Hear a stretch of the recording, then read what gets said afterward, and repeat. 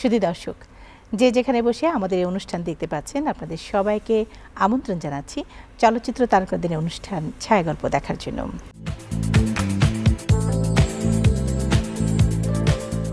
প্রতি পর্বে আমরা চলচ্চিত্রের কোনো তারকাকে আপনাদের কাছে নিয়ে আসি, গল্প শোনাই। আজও তার ব্যতিক্রম নয়। আজকে আমাদের এই অনুষ্ঠানে এমন একজন চলচ্চিত্র ব্যক্তিত্ব উপস্থিত হয়েছেন, যাকে আপনারা সবাই চিনেন, সবাই জানেন। ঠিক তাই। আমাদের চলচ্চিত্রের শক্তিমান অভিনেতা প্রবীণ মিত্র। আজকে আমাদের ছায়াগল্পের অতিথি। চলুন দর্শক আমরা তার কাছে সরাসরি চলে যাই। সালামকুম প্রবিতা আচ্ছা। কেমন আছেন? খুব বেশি একটা ভালো না মানে ইদানিং শরীরটা একটু ভালো যাচ্ছে না। একটু প্রেশার একটু পেটের একটু সমস্যা একটু আর্থারাইটিসের পেইন সবগুলো নিয়ে ভালো না। তারপরেও বলব যে ভালো থাকবেন দর্শকদের ভালোবাসা নিয়ে। ভালো থাকতে হবে আপনাকে। আজকে গল্প করার জন্য আপনাকে আমরা আমন্ত্রণ করে নিয়ে এসেছি। শুরুতেই যে গল্পটা শুনতে চাইব প্রায় পঞ্চাশ বছর হয়ে গেল এই অভিনয় জগতে। ছোটবেলা থেকে আপনার কি ইচ্ছে ছিল কেমন করে এই রূপালী পর্দায় চলে আসলেন? রূপালী পর্দায় চলে আসাটা এর একটা আশ্চর্য ঘটনা। সেটা হচ্ছে যে আমি কোনোদিন স্বপ্নেও ভাবিনি যে আমি ছবিতে আসব। আমি basically bad student back bencher আচ্ছা। আর এই সারা বছর খেলতাম। ফুটবল ক্রিকেট হকি ব্যাডমিন্টন সারা বছর। তো স্কুলের মাঠেই পড়ে থাকতাম। কিন্তু হঠাৎ করে ওখানে স্কুলে আমাদের স্কুল আমার প্রভুর স্কুল। প্রভুর স্কুলের সেন্টিনারিতে শতবর্ষবাদীতে নাটক হলো। রবীন্দ্রনাথ ঠাকুরের ডাকঘর। আচ্ছা। সে আমি তো স্পোর্টসম্যান আমার সঙ্গে সবসময় আমার আশেপাশে বন্ধু বান্ধব সব থাকে। আচ্ছা। চল যাই। এবারে ওখানে রিহার্সাল হবে। স্যার ডেকেছে যারা যারা অভিনয় করেছে তারা যেন আসে। আমি তো আমি তো অভিনয় করি আমি যাব কেন? বলে না না চল না যাই। গিয়ে ওই ব্যাক বেঞ্চে গিয়ে লাস্ট দুইটা বেঞ্চে বসে আছি। হেডমাস্টার ঢুকেই বললেন তুই এখানে কেন? আমি দেখলাম স্যার আমি অভিনয় করব। তুই কোনোদিন অভিনয় করেছিস স্যার? না। বলে, আমি তো নোটিশ দিয়েছি যারা অভিনয় করেছে তারা এখানে আসবে। তুই আসলি কেন? তখন যিনি ডাইরেকশন দেবেন যে স্যার উনি স্যার এই ফিগারটা দরকার আছে স্যার। প্রহরীর রোলটা করবে। রবীন্দ্রনাথ ঠাকুরের ডাকঘর। আচ্ছা আচ্ছা। প্রহরীর রোলটা ও করবে। ও আচ্ছা ঠিক আছে। তাহলে তুই আসবি কোনো ডিস্টার্ব শুনতে চাই না তোর নামে কোনো কমপ্লেন শুনতে চাই না মন দিয়ে নাটক করবি। ঠিক আছে। পরে বিভিন্ন সময় উনি আসেন। এসে দেখেন যে আমি কখনো ঠাকুরদার রোল দিচ্ছি প্রক্সি দিচ্ছি কখনো অমল ছোটোবেলার হিরো তার প্রক্সি দিচ্ছি সুধা বাচ্চা একটা মেয়ে তার প্রক্সি দিচ্ছি দইওয়ালার প্রক্সি দিচ্ছি হেডমাস্টার বলছে এগুলি কী ব্যাপার? আপনি ও দেখে বলে এখন ওর মানে এত উৎসাহ এবং এটার মধ্যে ও এত ইন্টারেস্ট খুঁজে পেয়েছে যে প্রতিটি চরিত্রে ও মানে প্রক্সি দেওয়ার জন্য রেডি হয়ে থাকে. আচ্ছা। এবং আলটিমেটলি আমার জীবনে আমি দেখলাম এটা আমার জীবনে একটা মানে কি বলে এটাকে এটা আশীর্বাদ স্বরূপ যে এই নাটকটা যে আমি সবগুলো চরিত্রে প্রক্সি দিয়েছি এবং আলটিমেটলি আমি সমস্ত রকম চরিত্রের অভিনেতা প্রবীণ মিত্র। আচ্ছা এবং সেভাবে বোধহয় ষাট দশকের শেষের দিকে জল ছবিতে আপনি কিন্তু হঠাৎ করে একটি অতিথি সিক্সটি চরিত্রে হ্যাঁ এসেছিলেন। জল ছবিতে অতিথি শিল্পী। আচ্ছা এটা কীভাবে হয়েছিল? এটা হচ্ছিল কি এই এই ছবির ডাইরেক্টর এইচ আকবর সাহেব আচ্ছা। তো ওই ছবিতে হিরো ছিল ফারুক। আর আমি মানে শুটিং দেখতে গেছি। আচ্ছা আচ্ছা। আকবর সাহেব বলেন যে আমি তো ওনার সঙ্গে নাটক করেছি। আমি বলছি বলেন যে আমরা শুটিং শুরু করেছি আপনি জান না কেন? দেখতে আসেন। পুলিশ হাসপাতালে শুটিং হচ্ছিল। আচ্ছা। আমি আর এই আমার এক বন্ধু হুমায়ুন কবির ও মানে ডাইরেকশন দিত এবং অভিনয় করতো। ওর ভেজপার পেছনে আমি ওর দুজনে মিলে পুলিশ ক্লাবে গেলাম পুলিশ হাসপাতালে গেলাম শুটিং দেখতে। যাওয়ার পরে এক বছর আরে আসছেন বসেন বসেন বসেন। বসার পরে চা খাই সিগারেট খাই। কিছুক্ষণ পরে দেখি উনি আমার সামনে দিয়ে ঘোরেন। কী ব্যাপার? আমার আচ্ছা। কী হলো?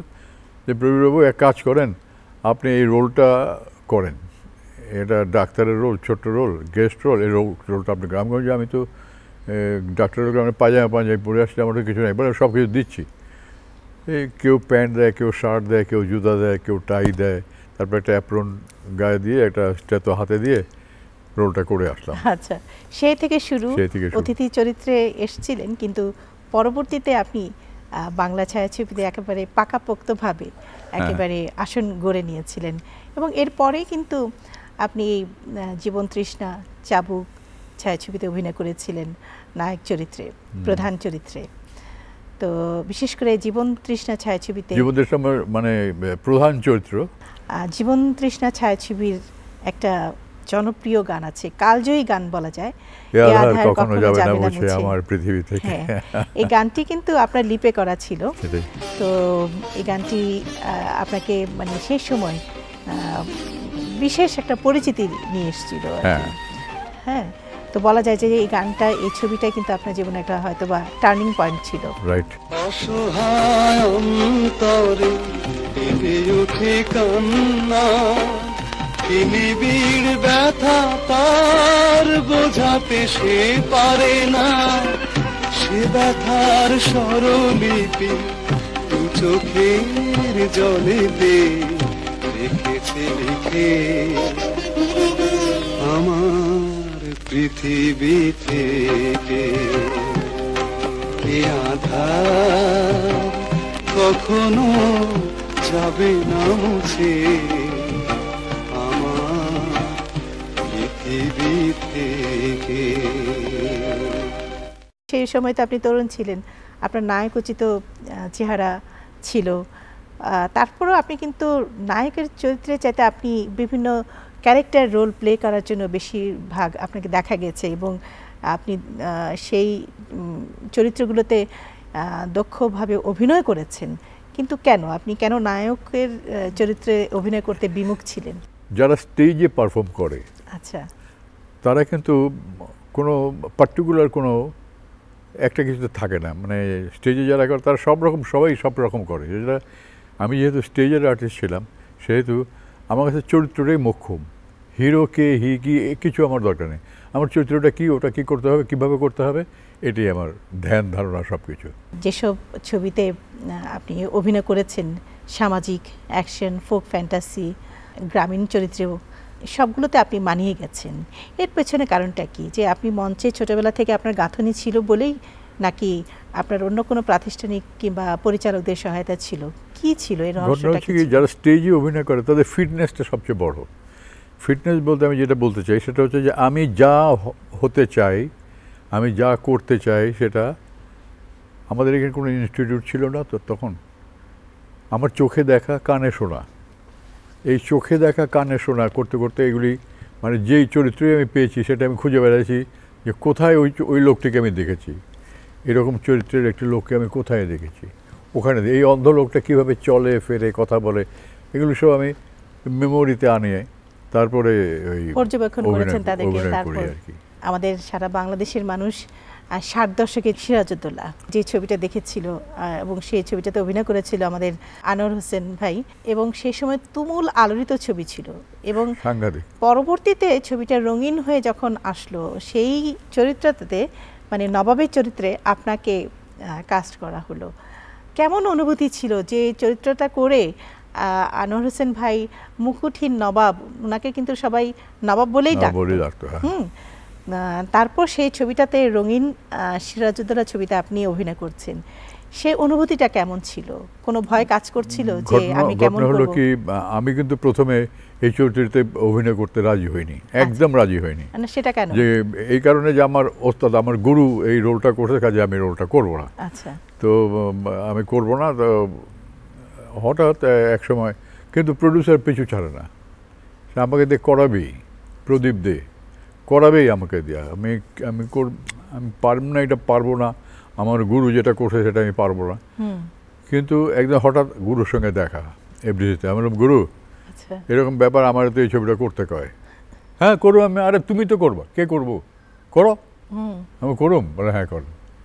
এই এই ওনার পারমিশন নিয়ে আমি এই ছবিটা নিলাম ছবিটা করলাম। আরও ভালো লোক ছায়াছবিতে আপনি অভিনয় করেছিলেন এবং খুব অনবদ্য অভিনয় ছিল সেই ছবিতে এবং এই ছবিটা আপনাকে জাতীয় চলচ্চিত্র পুরস্কার এনে দিয়েছিল হ্যাঁ। এই ছবিটা সম্পর্কে একটু জানতে চাই। মোহাম্মদ মহিউদ্দিনকে স্যার বলতাম কারণ উনি মানে সারাক্ষণ ছবির উপরে কথা অন্য কোনো কথা। উনি ভালো ফুটবলার ছিলেন ফুটবলের সম্বন্ধে কিছু বলতেন আর ছবি সারাক্ষণ ছবির কথা বলতেন এবং সবাই ওনাকে স্যার বলতো। তো এই স্যার ছবি করবে বড় ভালো লোক ছিল। আমরা গেলাম মধুপুর গড়ে এই শুটিং করতে ওখানে। আচ্ছা অঞ্জু ছিল আমার হিরোইন রাজা সাহেব ছিলেন প্রধান চরিত্রে। তো ছবিটা করে টোটাল ইউনিটটাই তখন ওই মধুপুরে ছিল ম্যাক্সিমাম শুটিং ওখানেই হয়েছে। কাজে একসঙ্গে থাকার জন্য এবং মহিবার আশেপাশে থাকার জন্য ক্যারেক্টারগুলো সব প্রস্ফুটিত হয়েছে। আপনার ছায়াছবির সংখ্যা সম্ভবত তিনশোর উপরে। হবে অনেক অনেক ছবি করেছেন। এরকম হবে। তো অনেকগুলো ছবি নাম মনে রাখাও কঠিন। হ্যাঁ। তারপরেও আপনার কাছে শুনতে চাইব যে এমন কয়েকটা ছবির নাম যেগুলোতে অভিনয় করে আপনার ভালো লেগেছে মনে দাগ কেটেছে। আপনি তো বড় ভালো লোক বড় ভালো লোক ছিল, এটা গেল। নবাব সিরাজদৌল্লার কথাও গেল। ঝিনুকমালা ছবি আছে। ঝিনুকমালা ছবি আছে ওটাতে মজা হলো কি জানি ঝিনুকমালা ছবিটা প্রথমে চলে নাই। পরে এটা bumper hit. Director Kazi Zahir সাহেবের ঘরে দুটো ছবি ছিল। আমার একটা হলো চাষির মেয়ে একটা হলো জয় পরাজয়। জয় পরাজয়। এও খুব ভালো একটা ছবি ছিল। এবং এই ছবিতে একটা ভালো গানও খুব ভালো গানও ছিল। হ্যাঁ, প্রাণ খুলে আজ গাওরে বন্ধু হ্যাঁ। জীবনের জয় গান। হ্যাঁ। আলমগীর আমি দুজনে ছিলাম। কবিতা আপনার অনুমতি নিয়ে গানটি আমরা দর্শকদের দেখাতে চাই। জয় পরাজয় ছায়াছবি থেকে প্রাণ খুলে আজ গাউরে বন্ধু জীবনের জয় গান। এতগুলো ছবিতে অভিনয় করেছেন অনেক চরিত্রে রূপায়ণ করেছেন অভিনয় করেছেন। তো কোন ধরনের চরিত্রে অভিনয় করতে আপনার মানে ভালো লাগতো? আমার মজাটা হলো কি কোনো কিছু আমার কাছে না নাই। যে চরিত্রই আমাকে দিক মানে সেই চরিত্রটা মানে ডাইরেক্টরকে স্যাটিসফাই করার মতো ক্ষমতা আমার ছিল। সেই ক্ষমতাও মানে ঈশ্বর আমাকে দিয়েছিলেন যে একজন লোককে কীভাবে স্যাটিসফাই করতে হবে, কেমনি ডাইরেক্টরকে স্যাটিসফাই করতে হবে। যার জন্যে আমার এত এত ছবি যেমন ধরেন মিন্টু আমার নাম প্রতিজ্ঞা আব্দুল জলিল মিন্টুর ছবি তখন super super director super hit ছবি। সুপারহিট ছবি। মিন্টু আমার নাম প্রতিজ্ঞা প্রতিহিংসা মানে এই সমস্ত ছবি ওর। এরপরে কামাল আহমেদের অঙ্গার পুত্রবধূ। এরকম বিভিন্ন ছবি। পুত্রবধূ ছায়াছবির কথা যদি বলি কামাল আহমেদ হ্যাঁ। হ্যাঁ। এই ছবিটাতে আপনি আপনার ভালো একটা অভিনয় সমৃদ্ধ ছবি ছিল এবং ছবিতে একটা ভালো গানও ছিল। যে গানটি এখন আমাদের অনেকের মনে মনে মনের মধ্যে গেঁথে আছে গানটি। হুম? সে গানটির কথা কি এখন মনে পড়ে? গুরু গুরু উপায় বলো উপায় বলো না। জনম দুঃখী কপাল পোড়া গুরু আমি একজনা যদিও আপনার কপাল পোড়া না আপনি অনেক ভাগ্যবান একজন ব্যক্তি। তারপরেও এই মুহূর্তে আমার ইচ্ছে করছে দর্শকদের এই গানটি দেখাতে। চলুন দর্শক আমরা এই গানটি দেখে আসি। দেখলেই মনে হয় যেন খুব শান্ত শিষ্ট সুবোধ আহ, একজন ভদ্র মানুষ। তারপরেও আমরা সিনেমা পর্দায় আপনাকে দেখেছি পুলিশ অফিসার হতে দুর্ধর্ষ যারা সন্ত্রাসী বাহিনী ছিল তাদের সঙ্গে যুদ্ধ করতে বন্দুক যুদ্ধে লিপ্ত হতে সেসব চরিত্রে আপনাকে আমরা দেখেছি।